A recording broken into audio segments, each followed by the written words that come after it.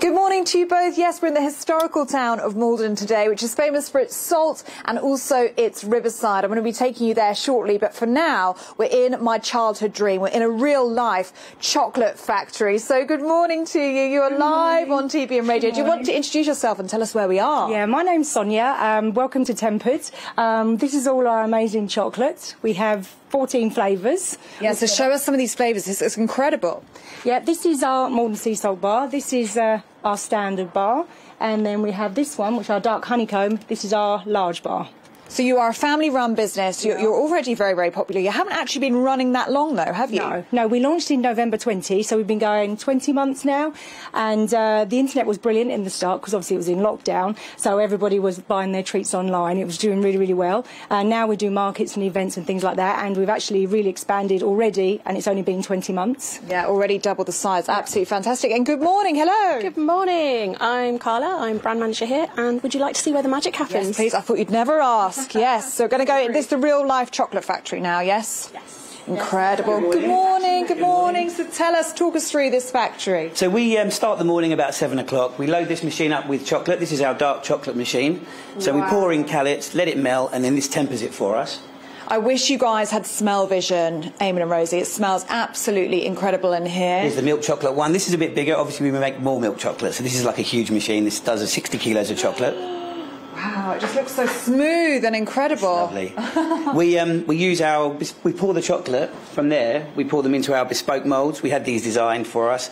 Um, we then set the chocolate in the fridges, and we come out with this as our final product. So we've got a lovely looking bar, really shiny. It snaps nicely because of the temper.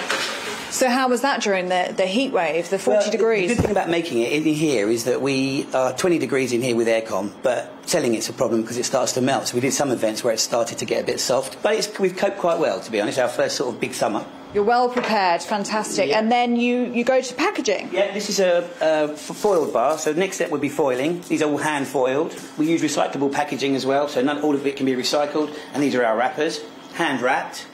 And then we end up with a final product which looks something like that. Wow. So, what is your most uh, popular bar of chocolate? Maldon sea salt and caramel. We're obviously based in Maldon. We use Maldon sea salt. This is our biggest seller. It sells double everything else, um, and it's a fantastic product. So great.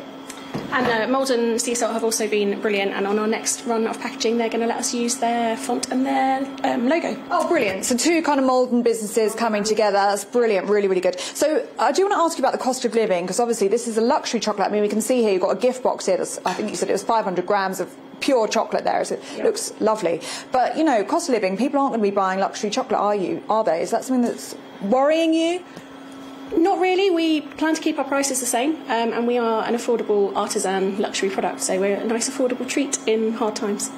Yes, and people are going to need a treat, aren't they? I think so, yeah, especially when things are so hard. What better than chocolate? What better than chocolate? I mean, I'm a literally massive chocolate fan. May I try some? It's now the taste test. I mean, it would be rude not to, right? So this is your most popular bar. This is Maldon sea salt and caramel. I've got that right? Yeah, okay. I've got a big chunk here. Wow. that is sweet and salty. Incredible, amazing. Eamon and Rosie, I bet you wish you were here, right? This is incredible. It smells amazing. So I'm going to get back to the chocolate now, and then I'll take you down to the river in a little bit.